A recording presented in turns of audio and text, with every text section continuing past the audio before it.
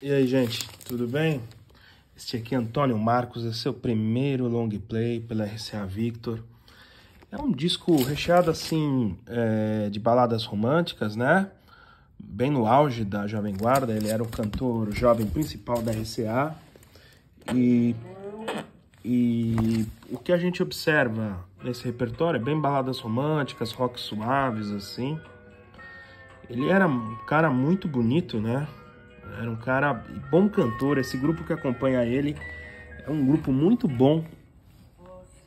Mas a, a joia da coroa, a faixa de maior sucesso do disco é Tem um Amor Melhor que o Seu, né?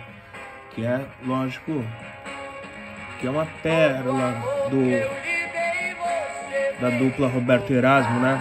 Porque a dupla Roberto Erasmo fazia sucesso para toda essa galera da Jovem Guarda. Uma balada romântica bem pra cima, rock suave bem boa.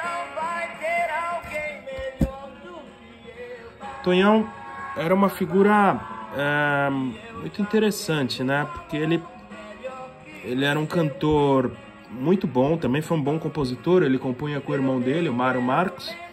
Eles compuseram juntos Como Vai Você. Ele foi casado com a Vanusa, teve é, um relacionamento também com a atriz Débora Duarte, no qual teve a filha Paloma Duarte, que é uma atriz agora já até já tem até uma idade, né? E ele teve um relacionamento também com a filha do Roberto Carlos, né? Com a filha do primeiro casamento da Nice. E deu um baita bafafá na época. O Roberto deu uma treta com ele.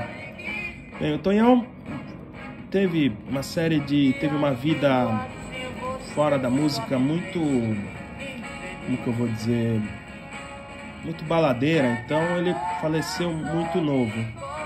Portanto, é um cantor extraordinário. Esse é o primeiro disco dele, tá meio riscado mesmo, mas eu comprei num desses sebos bem mequetrefe porque tava muito barato, né? É... O conjunto é muito bom, com aquele órgão, aquela coisa bem jovem guarda mesmo. Eu já limpei com água, já limpei com, com cândida, limpei com, com de toda maneira. Um outro aspecto importante para falar do Tonhão é que ele era agenciado pelo Genival de Mello. Genival de Mello foi um dos grandes empresários é, dos anos 60. Ele agenciou durante muito tempo o Vanderlei Cardoso, depois eles brigaram e aí ele agenciou o, três: Nelson Ned, Antônio Marcos e o Cláudio Fontana.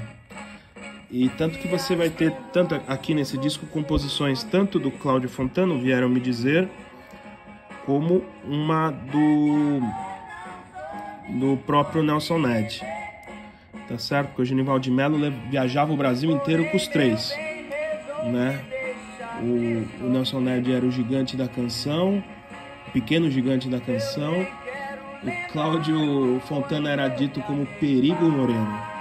Mas de todos esses, o que mais teve sucesso mesmo foi o Antônio Marcos, embora o Vanderlei no primeiro momento teve bastante sucesso dos empresariados pelo Genival Mello. E Preciso Ter um Amor, Tem um Amor Melhor que o Seu é a canção mais que mais tocou desse disco, né?